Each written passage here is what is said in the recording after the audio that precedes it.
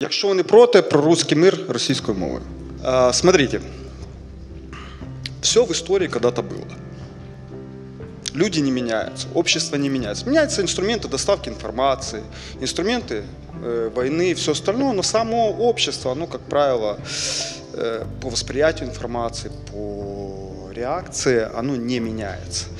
И вот этот вот русский мир и то, что происходит в России, это тоже не новое, это уже было в истории. Наиболее похоже на это дело, это у нас э, национал-социализм э, гитлеровской Германии. Мы сейчас поэтому пройдемся, покажем тенденции. И это надо понимать, эту логику. Логика есть. Суть заключается в том, там, где говорят на русском языке, там, где есть русская культура, это априори территория русского мира. Официально этой идеологии нету, но все спикеры, начиная от Кирилла, заканчивая Путиным, Медведевым, Патрушем, говорят вот об этом.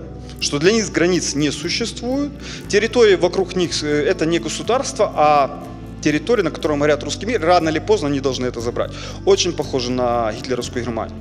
1938 год, 1936 год, когда а, тот же Гитлер, те же подручные Гитлера говорили по той же Че- Чехословакии о том, что там находятся немецкоговорящие, мы должны объединиться.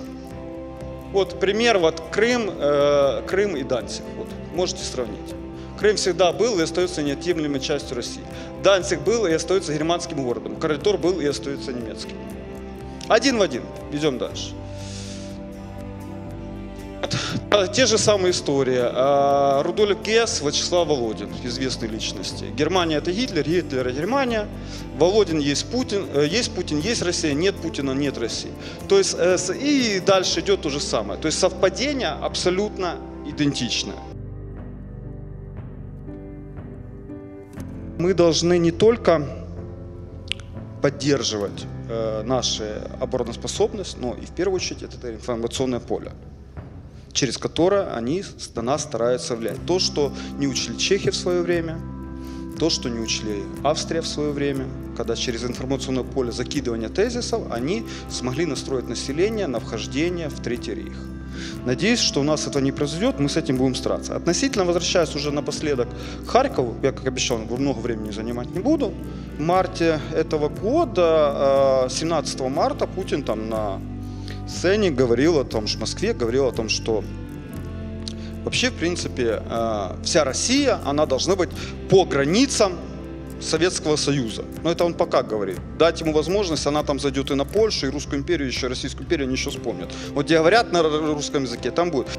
Ну і хочу додати, що пан Олег з колегою зареєстрував дуже цікавий, цікавий законопроект.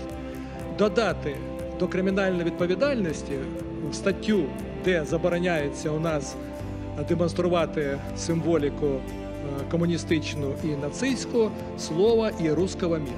Так?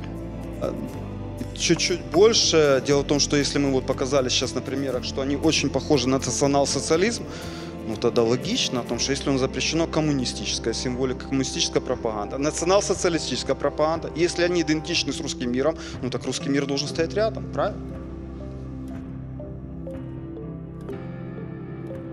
Фактически то, что мы имеем социологические исследования, говорит о том, что харьковчане, они, у них позиция при голосовании была следующая. Мы, харьковчане, не лезьте к нам. Вот ни русские, ничего, никаких мы не хотим. Вот мы хар-. Вот мы местные. Это меня радует, потому что это следующий шаг к пониманию украинской идентичности. Через это проходили все. То есть на следующих выборах вот эта украинская идентичность будет еще больше проявляться в Харькове.